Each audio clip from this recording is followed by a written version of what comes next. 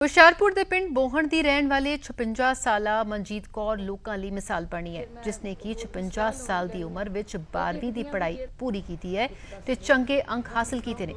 ਮਨਜੀਤ ਕੌਰ ਦਾ ਕਹਿਣਾ ਹੈ ਕਿ ਉਹ ਪਿੰਡ ਵਿੱਚ ਨੰਬਰਦਾਰ ਦੇ ਅਹੁਦੇ ਵਜੋਂ ਸੇਵਾ ਨਿਭਾ ਰਹੀ ਹੈ ਤੇ ਉਹ ਵਕੀਲ ਬਣਨਾ ਚਾਹੁੰਦੀ ਹੈ, ਜਿਸ ਕਰਕੇ ਉਸਨੇ 12ਵੀਂ ਦੀ ਪ੍ਰੀਖਿਆ ਪਾਸ ਕੀਤੀ ਹੈ।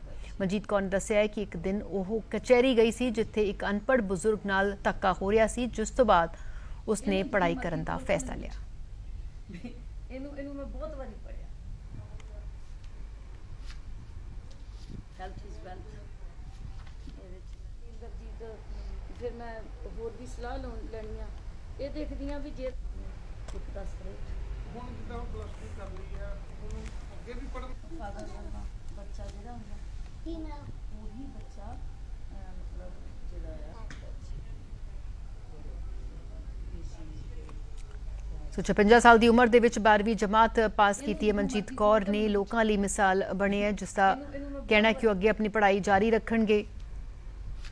ਸੋ 56 ਸਾਲ ਦੀ ਉਮਰ ਵਿੱਚ ਉਸਨੇ ਉਹ ਕਰ ਵਿਖਾਇਆ ਜੋ ਹੋਰਾਂ ਲਈ ਮਿਸਾਲ ਬਣਿਆ। ਹੁਸ਼ਿਆਰਪੁਰ ਦੇ ਪਿੰਡ ਬੋਹਣ ਦੀ ਰਹਿਣ ਵਾਲੀ 56 ਸਾਲਾ ਮਨਜੀਤ ਕੌਰ, ਜਿਸ ਨੇ ਕਿ 56 ਸਾਲ ਦੀ ਉਮਰ 'ਚ 12ਵੀਂ ਦੀ ਪੜ੍ਹਾਈ ਪੂਰੀ ਕੀਤੀ ਤੇ ਚੰਗੇ ਅੰਕ ਵੀ ਹਾਸਲ ਕੀਤੇ। ਮਨਜੀਤ ਕੌਰ ਦਾ ਕਹਿਣਾ ਹੈ ਕਿ ਉਹ ਪਿੰਡ ਵਿੱਚ ਨੰਬਰਦਾਰ ਦੇ ਅਹੁਦੇ ਵਜੋਂ ਸੇਵਾ ਨਿਭਾ ਰਹੀ ਹੈ ਤੇ ਵਕੀਲ ਬਣਨਾ ਚਾਹੁੰਦੇ ਹੈ, ਜਿਸ ਕਰਕੇ ਉਸਨੇ 12ਵੀਂ ਦੀ ਪ੍ਰੀਖਿਆ ਪਾਸ ਕੀਤੀ ਹੈ। ਮਨਜੀਤ ਕੌਰ ਨੇ ਦੱਸਿਆ ਕਿ ਇੱਕ ਦਿਨ ਉਹ ਕਚਹਿਰੀ ਗਈ ਸੀ ਜਿੱਥੇ ਕਿ ਇੱਕ ਅਨਪੜ੍ਹ ਬਜ਼ੁਰਗ ਨਾਲ ਧੱਕਾ ਹੋ ਰਿਹਾ ਸੀ ਜਿਸ ਤੋਂ ਬਾਅਦ ਹੀ ਉਸਨੇ ਪੜ੍ਹਾਈ ਕਰਨ ਦਾ ਅੱਗੇ ਫੈਸਲਾ ਲਿਆ। ਇਹਨੂੰ ਇਹਨੂੰ ਮੈਂ ਬਹੁਤ ਵਾਰੀ ਪੜਿਆ ਹੈਲਥ ਇਜ਼ ਵੈਲਥ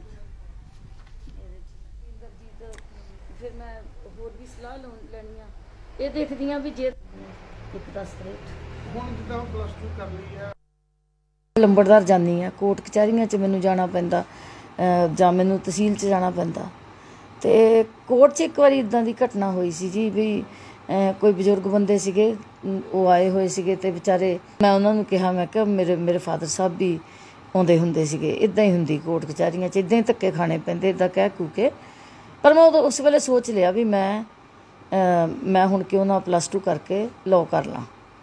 ਤੇ ਵੀ ਘੱਟੋ ਘੱਟ ਕਿਸੇ ਦੀ ਹੈਲਪ ਹੀ ਹੋ ਜਾਂਦੀ ਆ। ਕਿਉਂਕਿ ਮੇਰੇ ਸ਼ੁਰੂ ਤੋਂ ਹੀ ਦਿਮਾਗ 'ਚ ਹੈਗਾ ਕਿ ਬੰਦੇ ਨੂੰ ਸੋਸ਼ਲ ਵਰਕ ਕਰਨਾ ਚਾਹੀਦਾ।